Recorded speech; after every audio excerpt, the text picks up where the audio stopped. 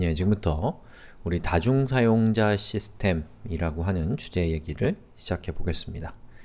자, 컴퓨터가 한 대가 있으면 그 컴퓨터 한 대를 처음에는 혼자서 사용하겠죠. 그런데 혼자서 사용하다 보면 점점 어떤 필요성이 생기나요?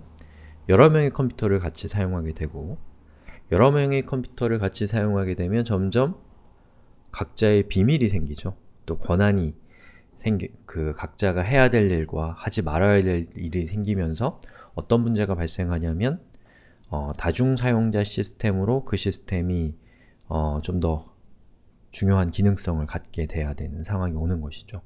그렇게 해서 각자의 아이디로 로그인을 해서 컴퓨터를 사용할 수 있게 됐는데 그러면 참 좋은 상황이지만 트레이드 오프, 즉 단점이 또 한편으로 따라오게 됩니다. 어떤 단점이냐면 다중 사용자 시스템이 되는 순간에 시스템의 복잡도는 훨씬 더 높아집니다.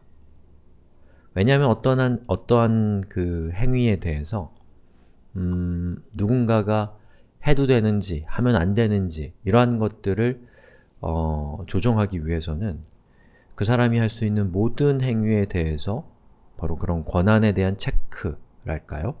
그러한 것들이 들어가기 때문에 어, 기능이 훨씬 더 복잡해진다는 거죠.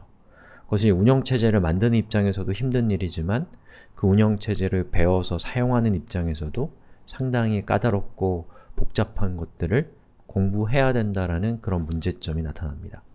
그리고 동시에 어, 여러 사람들이 쓰고 각자의 권한을 갖고 있기 때문에 그 권한에 대해서 잘 모르는 사람이 시스템을 썼다가는 낭패를 당할 수가 있는 거죠. 예를 들면 자기가 갖고 있는 파일에 굉장히 중요한 정보를 저장했는데 그게 누구나 볼 수 있는 상태였다. 그런 일이 일어날 수가 있다는 것이죠. 자, 어쨌든 간에 다중사용자라고 하는 것은 바로 그런 양면성을 가지고 있는데요. 뭐, 뭐가 됐건 간에 어쨌든 유닉스 계열의 시스템은 다중사용자 시스템이고 여러분이 다중사용자를 어, 사용을 하건 사용을 하지 않건 간에 기본적으로 다중 사용자라고 하는 측면의 관점이 투영되어 있기 때문에 여러분이 이러한 주제, 다중 사용자를 어떻게 사용하는가, 또 사용했을 때 어떠한 문제점이 있을 수 있는가 이런 것들을 어느 정도는 알고 있으실 필요가 있다는 겁니다. 그리고 만약에 다중 사용자가 여러 사람이 하나의 시스템을 같이 사용을 한다면 그것을 훨씬 더 잘 알아야 되는 것이죠. 자, 그래서 이번 시간에 어, 지금부터 우리가 살펴볼 중요한 주제는 여러 명이 운영체제를 같이 사용하는 방법 또 그 과정에서 일어날 수 있는 어, 복잡성 또 그리고 거기서 파생되는 위험성 이러한 것들을 이제 살펴보는 시간으로 어, 이 시간 이후부터 수업이 또 시작이 됩니다. 자 그러면 어, 지금부터 살펴보시죠.